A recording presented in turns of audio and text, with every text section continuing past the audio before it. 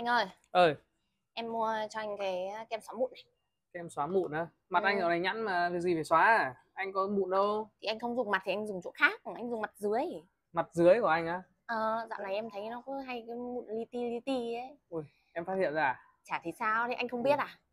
thì anh cũng thấy nhưng mà anh ngại anh không nói với cả anh cũng định ra spa rồi nhưng mà kiểu ngại ấy, ra đấy nó cứ soi soi soi mình nhìn ngại ơi ngại Ngại thì mà ngại cái này bôi là tự tự nó khỏi cái đấy à thì bôi vào là được. Cái này nó trị mấy cái mụn ờ, li ti này, ừ. nó trị cả mấy cái mụn cóc này, mụn ờ, nói chung là cái những cái mụn mà do vi khuẩn HPV gây ra cũng trị Ừ. được luôn. à Đấy. những cái mụn ở vùng kín này là trị được đúng không Ừ, anh Ừ. cứ bôi vào nhưng mà thành là hết. phần bôi vào vùng kín đấy anh sợ đấy thành phần có an toàn lành tính không đấy anh đọc xem toàn là thành phần tự nhiên luôn có phải hóa chất đâu mà sợ ừ.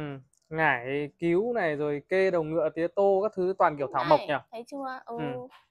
nói Đấy. chung là anh dùng ngày hai ba lần ừ. anh thấy toàn mùi thảo mộc thôi hai ba ngày năm ngày cùng lắm năm bảy ngày là anh đỡ rồi ừ. thơm thơm mùi thảo mộc nha thì nó Ừ. làm từ thiên nhiên mà hay phết bôi cái này là dần dần là nó trị được cả gốc mụn luôn đúng không là Ừ. mụn nó tự dụng đúng không ngày anh bôi hai ba lần nói chung là bôi đến khi nào cái Ừ. gốc mụn nó bật lên Chị- Đấy, nó là nó tự dụng luôn trị được cả mụn cóc mụn cơm các thứ luôn đúng rồi hay phết nhỉ đấy nhưng mà cái này em mua có đắt không Ừ, mua có vài cốc trà sữa thế à ừ.